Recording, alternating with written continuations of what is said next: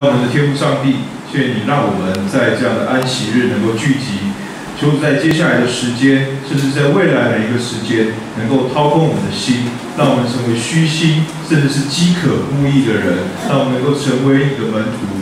甚至是能够为了我们的认罪，为了我们的罪而悲伤而感到哀痛，因为你的八福告诉我们，这一切都是有福的，因为我们都会得到你所赐福的一切。呃，我们这样子敞，待会敞开我们的耳朵，并且打开我们的心，请你的圣灵住在我们心中，让我们在接下来的讲道的当中，能够更加的认识你，能够更了解你的话语。我们这样祷告，是奉告主耶稣基督的名，阿门。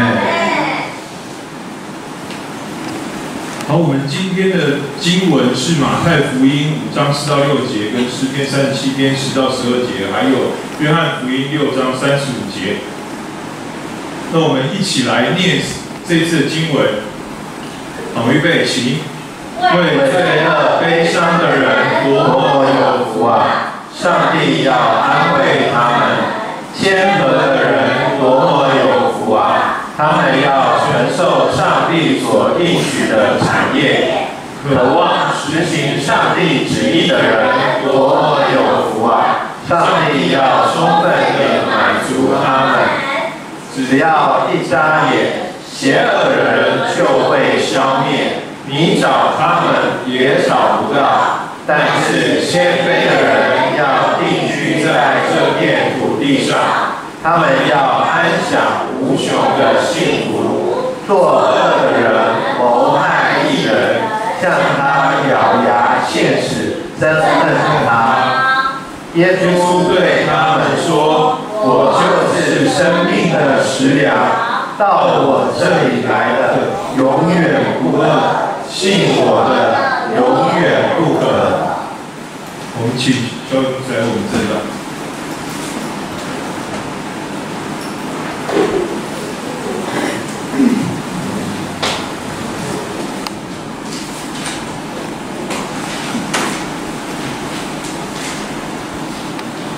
呃，在今天牧师所分享的，就是接续我们在这一季的一个主题。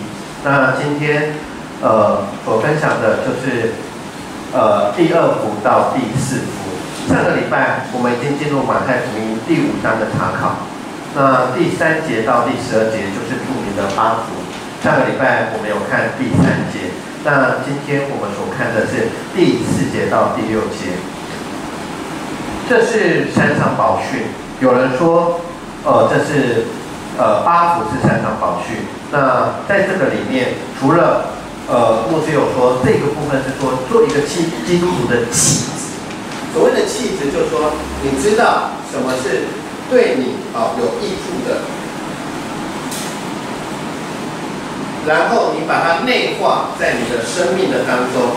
那除了这个气质之外，很要紧的呃一件事情啊，就是气质是里面啊人看不到的。那很重要的就是你怎么样活出来啊，在呃日常生活中让人家看到。所以呢，在八福之后所接着下去的，就是耶稣有说，你们要更呃做世界的光和盐，而且要求门徒所要做的是比。他们看得到的宗教的领袖或原来的犹太人啊，能够做得更好。所以，首先很快的第一点，看第二大点，牧师会带过去啊，在我们周报第六页和到第七页啊，有那个大纲。八福的八所指的啊，我已经讲过，犹太。人他们在很多的数字上有它的意思，例如三啊，例如五，例如七，例如十，例如十二。而这个八在启示录我们看到很多是像四个天使啊等等诸如此类的。所以这个八所指的是让四面八方来的，不管是不是犹太人，只要愿意学。做耶稣的门徒，所以在这个当中，就是听了以后愿意去做，这个叫做愿意学做基督的门，基督的门徒。既然是门徒，就是呃实际的哦去把它行出来。那忠心到底，这是很重要的。好，那福是什么呢？那八福的里面我们讲过，前八呃八福的前八呃前半段哈，每一句的前半段就是你有这样气质的人，你有这样特质的人，你就会得到呃在上帝所为你预备的福气。那我们有讲过，这个福气不是用想象的，不是用感觉的，而是实实在在的，就是旧约里面如同云柱火柱，好，上帝同在同在非常亲密的关系。好，所以这个是上个礼拜我们讲的八福。那什么样的人是有福的人？刚刚讲了这八福，拥有这八个特质啊，这样气质的人，那。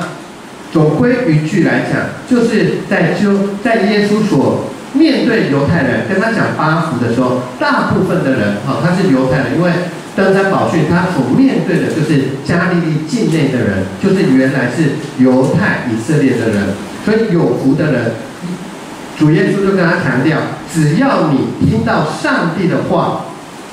哦，愿意去遵守，愿意去遵守的人。那第二个叫做洗净自己衣服的人，就是不断的从自己的生命的当中，愿意去不断的、不断的不让罪恶控制自己，而愿意好让上帝洁随时洁净自己的人。好，所以这个是上个礼拜，上个礼拜牧师特别呃所要讲、所要强调的。好，那今天我们要开始从。八福里面的第二句，他说：“为罪而悲伤的人多么有福啊！上帝要安慰他们。”那如果在和合本所讲的说，哀痛的人有福了，因为他们必得安慰。好，所以我们就知道说，为恶悲伤就是哀痛，为恶悲伤、哀痛的人，在原来希伯来文的字啊的里面。什么叫做为罪恶悲伤、哀痛？就是因为忧伤而呻吟，就是痛到哀出来。好，有没有？有时候我们去扭到手扭到脚扭到，去给人家瞧手手脚的时候，好，你忍耐一下，我忍耐一下，忍耐一下，哦，好了啊，哦，那一刹那很痛，所以这是痛到你受不了，而在上帝的面前怎么样呻吟？哦，就是叫出来，哈，叫出来。那在旧旧约的时候，我们看到一个人哀伤，有时候会用什么？他说：“我生命好像死灰，好像如稿灰一样。”哈，那个不是倒灰哈，就是那个好像灰烬一样。然后他们在上帝面前是撕裂衣服。好，在这边就说：“我巴不得把我整个人撕裂，但是我没有办法，但是我撕裂衣服。”那圣经有说哈，他。以颂赞代替哀歌，他以华冠代替灰尘，以喜乐代替忧伤。所以这种因为在上帝的面前，因为忧伤而呻吟的人，在这里说，上帝要安慰他们。可是忧伤，我们有很多的忧伤在我们生命里面，但是在这里有讲到一件事情：你为了什么事情而忧伤？那牧师有说，我们有时候了解圣经，我们要回到原来他们所面临的一个情况。当时在犹太人，他们很多人很忧伤，因为他们是什么？他们是亡国奴。亡国奴就是他们在罗马的统治之下。这是他们第一次经历吗？不是诶，在圣经的里面，他们在世师的时代，他们就不断的。受到外族的一个呃搅扰，好，然后我们就看到，甚至于他们被掳到巴比伦的时候，好，到巴比伦的时候，所以他们的心里面很难过，很伤心，好，甚至于他们就想，上帝，你是不是不爱我们了？为什么一直让我们在这种苦难的当中？所以当时以色列所人所面对的境况。就是他们的哀伤是什么？他们为什么忧伤而呻吟？他们深刻的感觉到，他们正在被上帝处罚。他们在罗马的压制之下，他们认为说：“神啊，你有没有听到我哀哭的声音？你有没有听到我哀哭的声音？我们想要你再一次、再一次的来拯救我们。”好。那这时候，我们就要看以色列人在这个当下，和我们现在给我们什么启示？第一个就是说以色列人知道一件事情，就是他们面临这样的一个境况，不是上帝故意要折磨他们，而是在他们的生命当中真的出了问题。所以以色列人在这里知道一件事，他回顾历史。尤其是士师那一段，当他们愿意悔改来到神的面前的时候，神就差派士师让他们获得拯救。然后每一个士师完，哎，拯救以色列人之后呢，然后就开始和平，和平到他们苦难开始之前，一定有一个字，什么？他们凭己意而行。当他们获得上帝的呃拯救、安慰之后，他们怎么样？忘了。忘了的时候，再一次凭己意而行。接着下来，上帝又要怎么样管教他们？好，我们说处罚也好，管教和处罚。请问什么时候你会被管教和处罚？呃，约定好了，好，你不能这样做。如果你这样做的时候，我就要处罚你。像我们一到新的学校重新编班的时候，老师跟学生一定会做一个约定，这个叫课室管理。所以在我们的信仰里面。上帝也跟我们约定哦，好，你要，所以在出埃及记，上帝讲了一句非常，呃，重要的话，也是一个承诺，我是你们的上帝。下一句，你们是我的百姓。好，那如果这样，我们就要照约定而行。所以这个约定是非常重的约定。我有讲过，在创世纪亚伯拉罕被呼召之前的时候，上帝。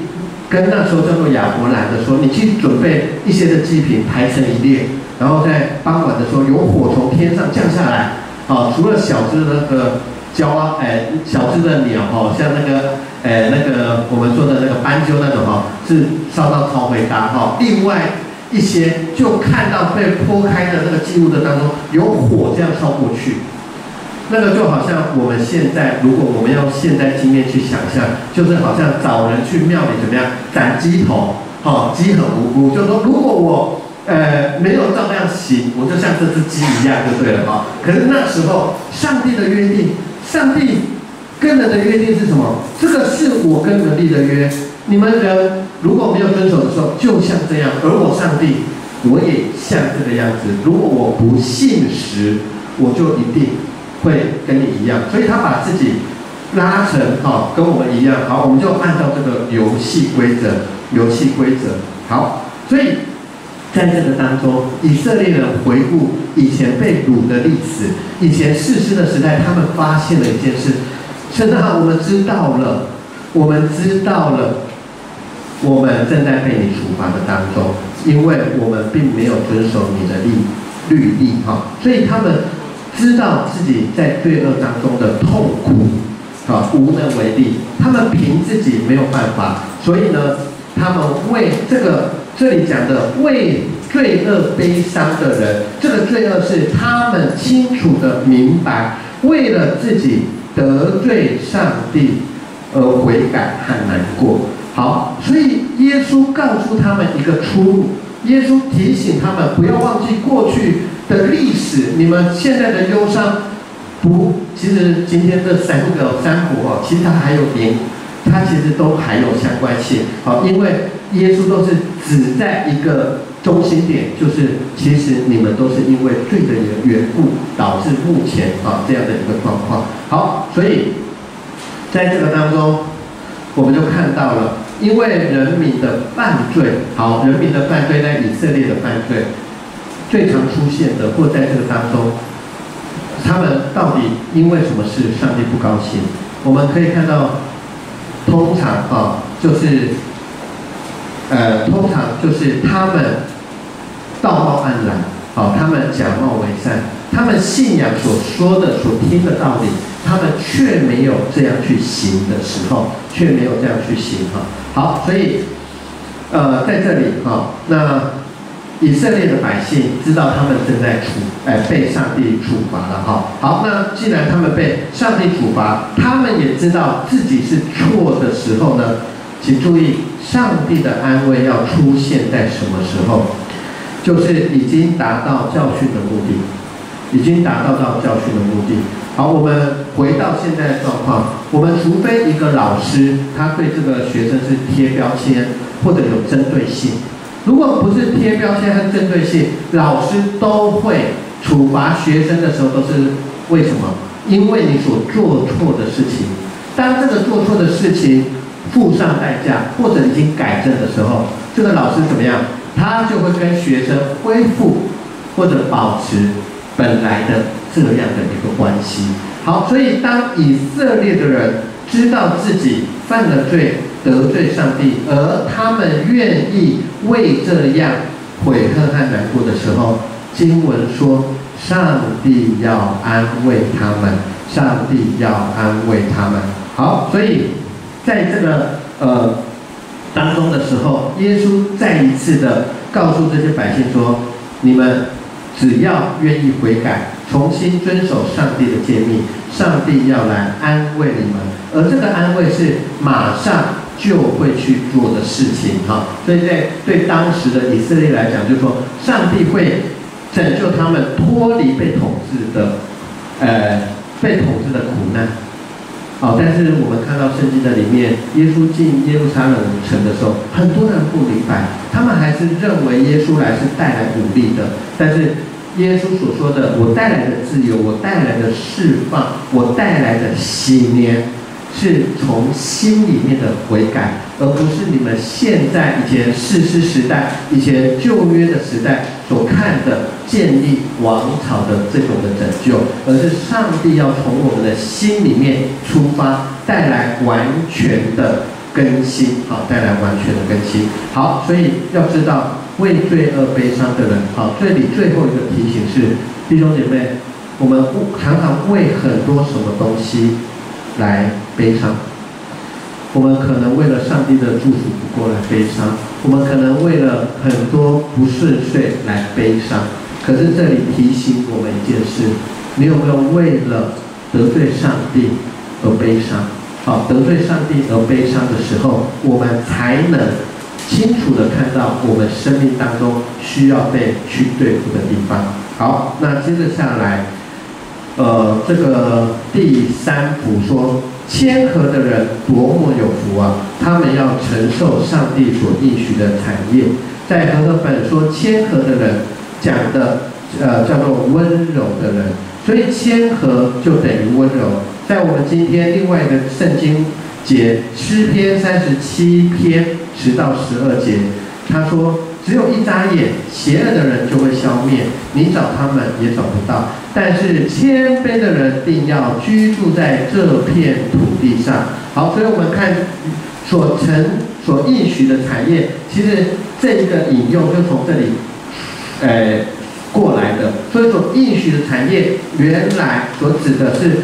非常实际，好，非常清楚明白的，就是土地，就是地土。然后，上帝所给人的这个土地上，要在这个当中安享无穷的幸福。好，那无穷的幸福，那上帝还保证什么？保证说，如果你们在这样的无穷的幸福的当中，你们叫做义的人啊，那如果有作恶的人要谋害你们的哈，那上帝必定会保守，而且上帝会让，呃，这样的人哈，呃，他们的轨迹啊不会得逞，好，不会得逞。好，所以在这里我们要知道，温和的人哈，对，呃，谦和等于温和的人，好，那什么叫做谦和？谦和是一种稳定，照约而行，而非用情绪感觉来，呃，决定事情。所以在我们的信仰里面的时候，我不知道你信主多久了，你会不会常常在这个信仰的状况之下起起伏伏的？一下子觉得上帝对我很好，一下子觉得上帝不好，好，一下子觉得上帝有祝福我，一下子觉得上帝哈好像没有祝福我，好，然后。在信仰的当中，你会发现常常在拉扯，常常在拔河。好，我们就来想，呃，一件事情，呃，跟上帝的，如果说这一个你比较难想象，结婚之后，好，如果你跟一个人结婚，结婚之后有没有很多的拉扯？有没有很多常常的说，我应该要怎么样？应该要怎么样？好，那在这样的状况之下，有时候这个婚姻的路就会说就会很颠簸。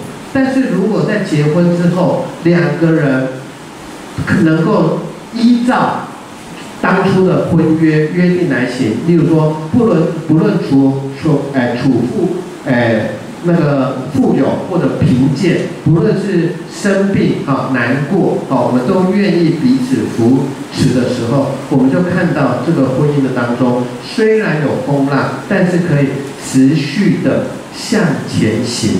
好，所以我们就知道说，在这里谦和的人，愿意照约定而行的人，在圣经的里面，就是在上帝的面前称为义的人。那义的人，啊，义的人有一个讲法，就是说合宜的关系，就是说哦，OK，我们来检，随时随地拿合约来检视。哦，你有没有照这样走行？有。哎，你有没有照这样行？有。随时随地常常看合约的时候，大家都有照着约定而行。好，那在上帝很多的特质里面有说，他是慈爱的上帝，好，他是全全能的上帝，他是无所不知的上帝。在上帝的特质里面有两个字叫做信实。什么叫信实？就是他讲的话，我们相信一定就会这样子做。就是他从来不会失约，他从来不会失信。好，那所以在这个当中呢，会失约。会失信的人，通常是人。呃，我们有没有去办过贷款？啊啊，或者说去诶房贷啦、车贷等等啊？那通常我们违约没有缴的时候会怎么样？先来一个简讯，叮咚。呃，那个某某某哈，你这个月的车贷、房贷哈，呃，在几号以前还没有缴哈啊，如已缴清，怎么样？不用理会此简讯啊，有没有？有没有？好，然后你在叮咚第二个月还是没有缴的时候，第三个月。纯正信函就来了，某某君哦，你呃那个诶那个什么什么什么的哦，这个呃贷款哈啊到现在已经几期没缴，啊请诶那个赶快缴清哈，切勿置物哈，就类似呃这样一个呃一个呃一个过过程一个流程，所以在这个当中，我们看到简讯，我们看到纯正信函的时候，那是一个什么提醒？提醒我们不要毁约。所以我们就要讲到一个角色，先知的角色。我其实有时候啊，我讲这个哈，可能就会跟如果弟兄姐妹你们有去其他一些的教会，可能有不一样的、不一样的呃经历经验。很多教会现在怎么样？先知性的服饰，先知性的角色。我跟你讲，如果你去读圣经，你一看到先知，你要怎么样？你要比比错。你要很难过，你要很很很知道说完蛋了，发生了什么事？因为先知从来的角色是预言，但注意哦，跟现在你去教会的先知角色不一样。现在告诉你说，先知先知的角色是预言，是警告。可是现在很多教会把先知性的角色，把它变成说说预言，在个人的。生命的造就，或者说上帝要怎么样的？跟你讲，旧约所有的先知，他这些先知都很，哎，我们不愿意见到先知，而旧约的先知很不愿意当先知。为什么？这些先知都要被石头砸、石头丢，因为他讲的话没有人喜欢听。但是我们看到现在很多先知大受欢迎，但是这种先知，我必须要讲。或许在新约里面，我们要去检验是不是真的先知。好，所以牧师在这里，我也必须要很诚实的讲。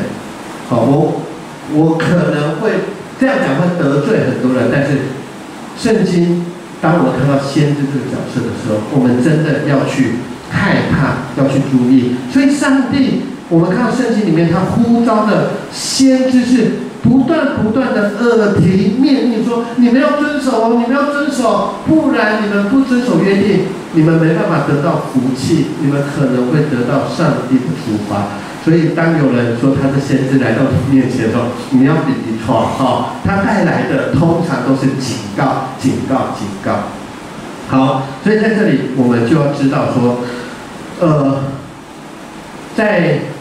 现实的上帝啊，他在旧约的时候与以色列人立约，像刚我讲的，在呃出埃及记那个是非常典型的，我是你们的上帝，你们是我的百姓。好，阿来利细一就叫风叫天，跟着契约这样走就没有问题。但是上帝怜悯人，知道我们无法在这些的律法律例的当中这样遵守，靠我们的力量，所以耶稣基督来。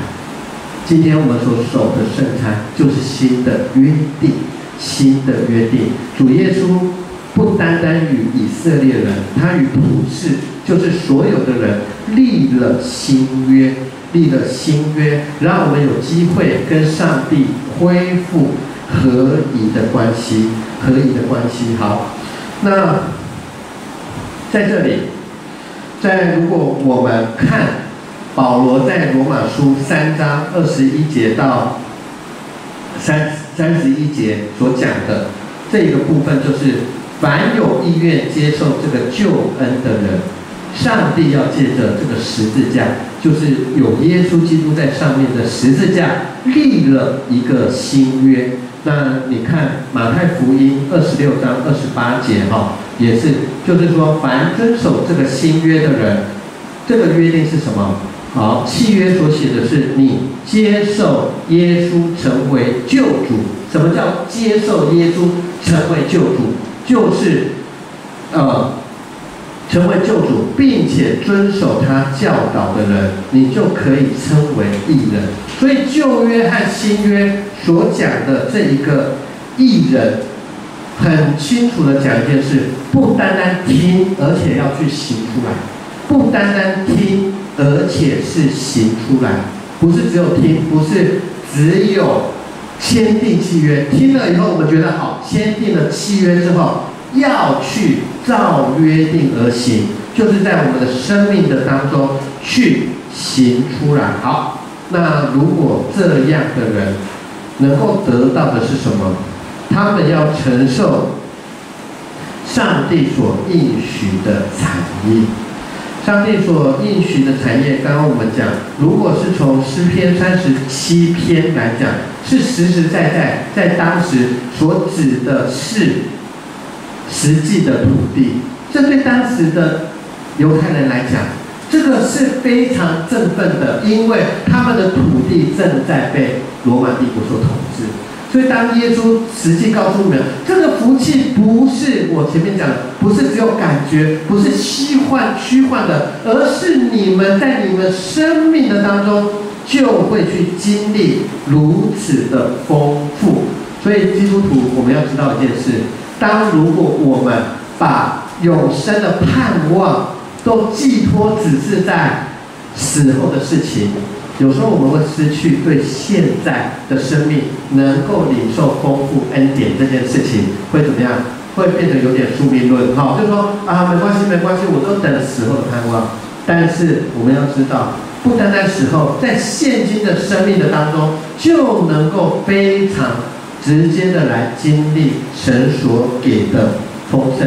但是有一句话叫过犹不及哦，但是不要以为。现世所有的丰盛的祝福，就等同于上帝全部的祝福了。现世所有的一切都会过去。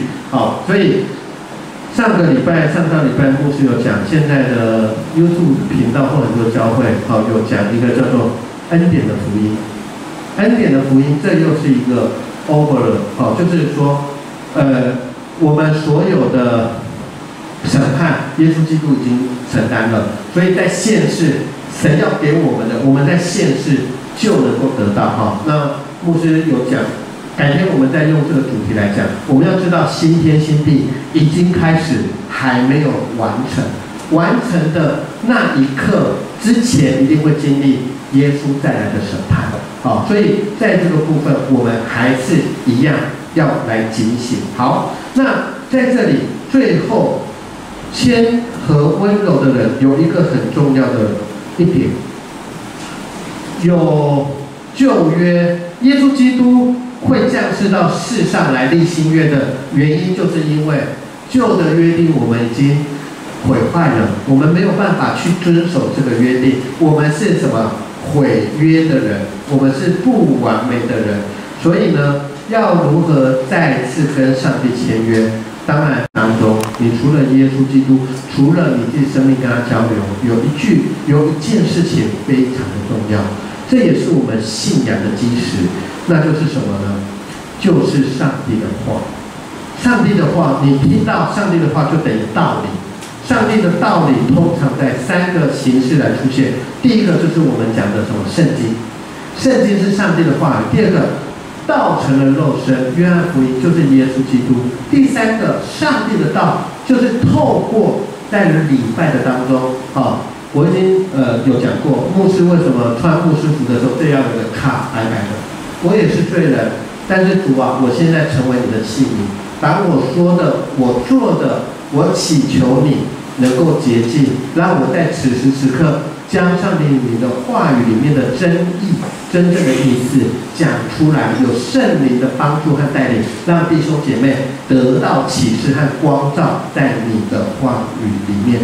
所以弟兄姐妹，上帝的话语从创世纪以来都证明了一件事：怎么样？它是怎么样？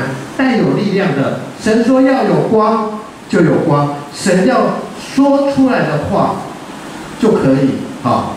这样来做，所以我们要知道说，上帝要给我们的应许的当中，我们要重新知道一件事哈。就从我这里，呃，我们来看一个经文哈，我没有在上面，我念给大家听，以赛亚书。好，你呃，我们先看《生命记》四章一节，他说：“后来摩西劝勉以色列人，就《生命记》哈，《生命记》就是说不断重复的再一次的提醒。所以在这里有说，《生命记》四章一节说，后来摩西劝勉以色列人说：你们要听，要听从我教导你们的法律和规律、规定。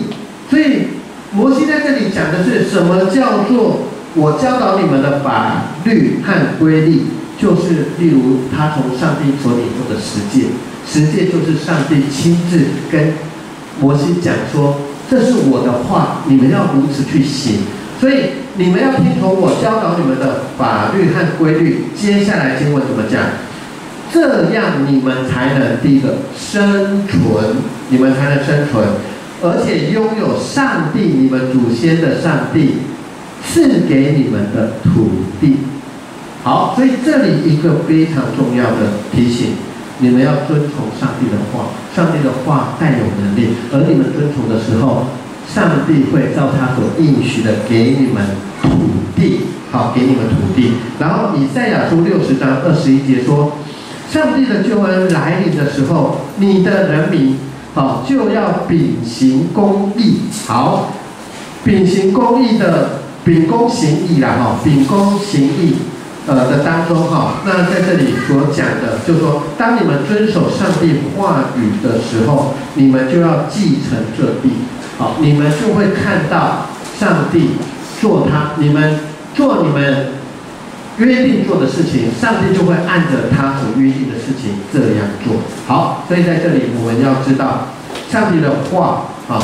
上帝的话让我们从毁约的人重新得到新的生命，然后上帝的话能够啊，在中报第七页这里很重要，上帝的话能够驱逐我们心中的背叛、邪恶和敌对上帝的心，所以这个是非常重要的。上帝的话是力量，在我们的生命中帮助我们，他要驱逐心中的背叛。邪恶和敌对上帝的心，所以柔和谦卑这件事，谦和的人是让我们不再用感觉情绪来决定事情，来感受上帝，而是我们稳定的照跟上帝的约定来行，使我们承受上帝所应许的产业。好，今天讲的第最后一个福气，第四个福气说。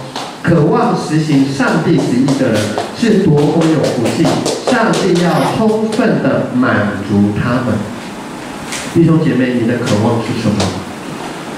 在旧约诗篇，你想一想这些诗人，他们的渴望是什么？你很很很直接的想到，有时候听到那个经文什么？我宁可住在你的殿中啊，我好想从此不再离开你呀。好，弟兄姐妹，你有没有渴望牧师讲到短一点？礼拜天哈，赶快结束，赶快去做自己的事情。什么是你心中的渴望？你有渴望常常听上帝的话语吗？你有渴望祷告读经的时刻吗？人的渴望是什么？你如何解决？那人的盲点在于无法对症下药。好，什么叫做对症下药？当时耶稣做了很多神迹奇事，但是神迹奇事前面或后面，耶稣都会搭配。什么叫搭配？套餐啊，耶稣哈套餐哦，哦不是台语哈，不要听错哦，是套餐。套餐是什么意思？就是呃，我们说麦当劳的套餐，哎，有主餐，有饮料，哦啊，可能还有副餐，哈等等，套餐就是完整的。可是有时候套餐里面，我们就会怎么样？我爱吃这个，我不爱吃这个。啊，套餐里面你点下去，啊，其实我要吃的是主餐而已啊。好，或者有时候，呃呃，以前呃，我带孩子啊，或者一些小朋友出去啊，点点一些东西的时候，我们就可以知道他点某样东西，啊啊，假设例如了哈，就说，呃，我们呃去一个地方吃东西，其实小孩子吃那个东西吃的可能不多，但是他那里有免费的饮料，啊，他那里有电视看，所以他在乎的不是主餐，哦，他可能是副餐，就是安内，呃，底下。呃，就是说自己爱的捡的吃哈，所以这里我讲的是对症下药哈。我们吃东西的目的是什么？长大成人，我们想要得到营养。但是刚刚我所讲的，如果我们不知道我们有了盲点，我们只是去挑我们自己爱的，那我们可能瘦巴巴，我们可能营养不良。好，所以耶稣在五千人吃饱的神机之后呢？耶稣讲什么？就是耶稣在约翰福音第六章一到十五节，耶稣给五千人吃饱的神迹之后，在第六章十五节之后，他到三十五节，耶稣就讲了今天很重要的经文。他说什么？凡我就是生命的食粮，到我这里的永远不饿，信我的永远不渴。当时的五千人还在沉沉溺在。好厉害！一个小朋友拿五饼二鱼出来，耶稣就让大家吃饱了，而且留了十二筐。他们看到的是现在立即性饱足，而且是物质上面的祝福。可耶稣告诉他们，这些都会过去。还记得在旧约有一个东西，你不能多存，隔天就发臭，玛纳，这就是玛纳。好，那但是一在圣经的里面，上帝没让一个人挨饿。每天该有的都供应给你们，但是耶稣在这里所讲的是，这些都会过去，但是你们有没有对症下药？你们有没有知道一件事情？如果你们随着个人的欲望要在这个世界满足，永远得不到，因为你建立在金钱、权力、建立在比较的上面，你永远无法满足。当你达到一个 level 以后，你就会想，我可以下一个 level。我今天。好，举个例子，哈，牧师，我已经讲过了。我三年前我当过呃光小的家长会会长，那我也说过，哎，在这个当中，我可能是不用去募款，好，或自己拿二三十万出来的会长，哈，因为那时候我是负责在协调呃校长或老师之间的问题。但是很多人哈会，哎，我们用台语讲的叫“癌”，癌是什么？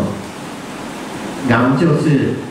癌症，啊，我说丢阳的意思就是说哈，他没有办法脱离这样的一个病症哈，啊，有的人在权力在金钱上面哈丢阳，好，我们常常这样讲，就他做了会长以后，他觉得不够，他还要再去竞选，有的人参加了狮子社，有的人参加了福伦社，现在还有叫同济会，他就认为在这个当中，他要一再一再的往上爬。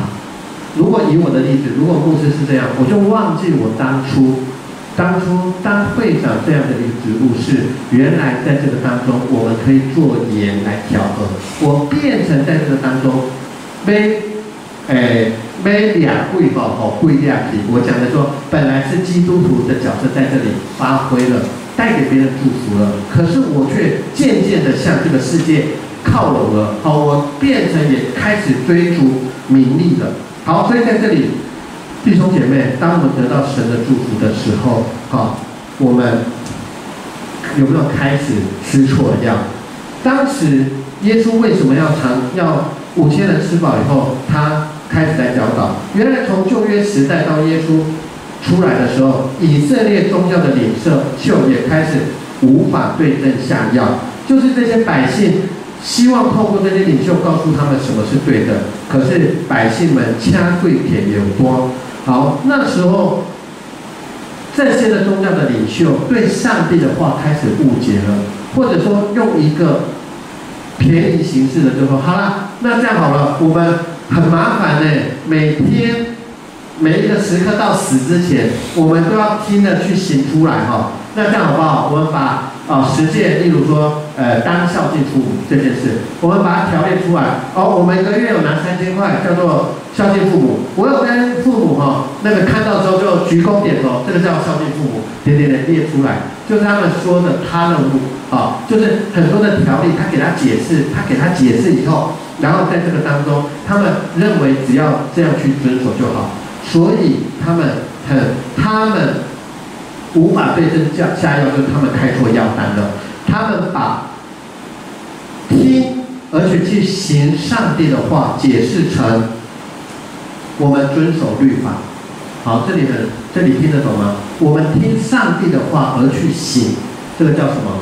这个叫，哎，听去行叫做实践。可是他们把上帝的律法当做去做一个连接属灵的玛纳，所以其实，呃，我们有时候看到像现在有些呃属灵的小册啊，他说。那个灵粮玛纳哈，灵粮玛纳，其实有时候我看到这个时候会有点，呃，有点怪怪的哈，因为在这里，玛纳旧约的玛纳和新约的耶稣，其实基本上是一个，我说的意思就是说，呃，旧约吃玛纳的时候，到新约哈，我就来讲一件事，就是说，耶稣说这是我的身体为你们打破的，好，所以在这个当中，耶稣要讲的是说。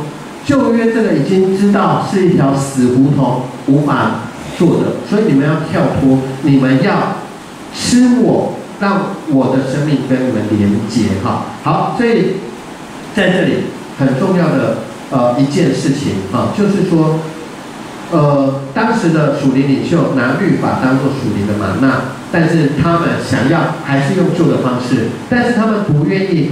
吃耶稣，吃耶稣的意思不是真的把它分尸吃掉，好，就像我们在圣经里面，哎，在圣餐里面，我说这是他的血，这是他的身体，哈，为你们打破的。其实吃最要紧的一件事就是，我们愿意宣告，我们愿意，呃，在他的面前说，我愿意我的生命跟你连接，好，生命跟你连接。所以弟兄姐妹，最后我们要来思考的，我们的生命。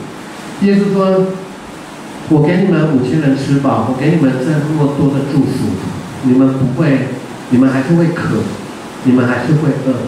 弟兄姐妹，我们要靠什么不渴不饿？就是你的人生当中要如何得到真正的满足？五千万够不够？一亿够不够？两亿够不够？如果你现在说三千万够了，哈。”那我告诉你，你本来规划三千万的生活，你可能会想说，为什么我现在都是游艇之旅而已？我为什么不能有豪华客机、客机客舱之旅？可能你还想再赚一个另外一个三千万。所以我们重新的对准目标，好，我们想要和真，我们想要的是什么？和真正能满足我们的有没有聚焦在一起？好，如果没有，我们必须要调整，要去找真正能够满足我们的。好，所以耶稣说吃，在六章五十三节到五十八节，约翰哈，呃，约翰福音六章五十三节到五十八节，约翰说，呃，吃我的肉，喝我的血，就有永恒的生命。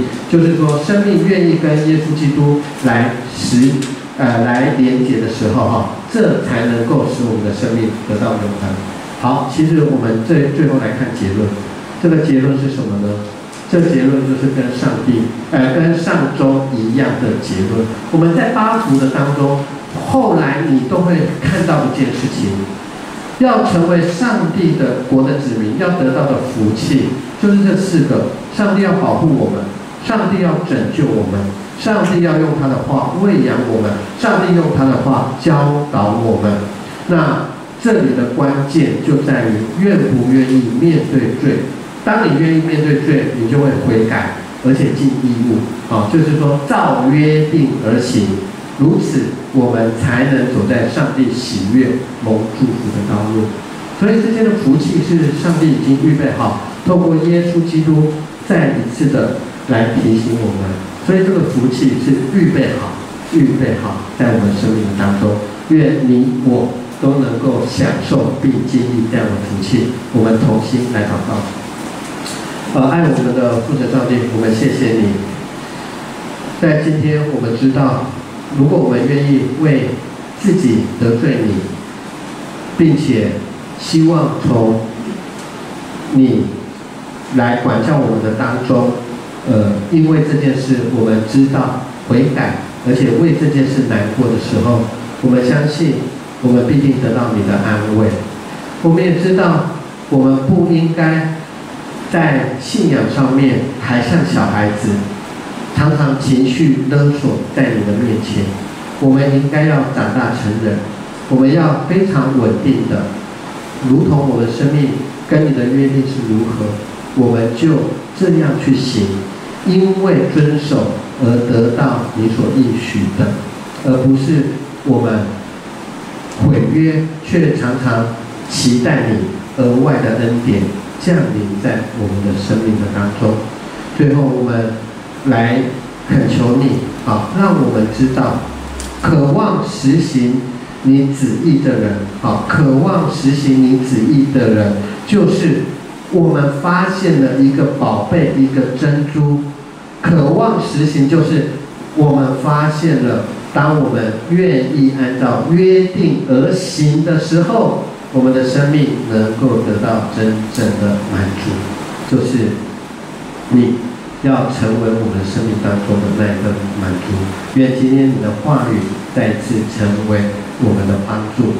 祷告奉耶稣基督圣名，阿门。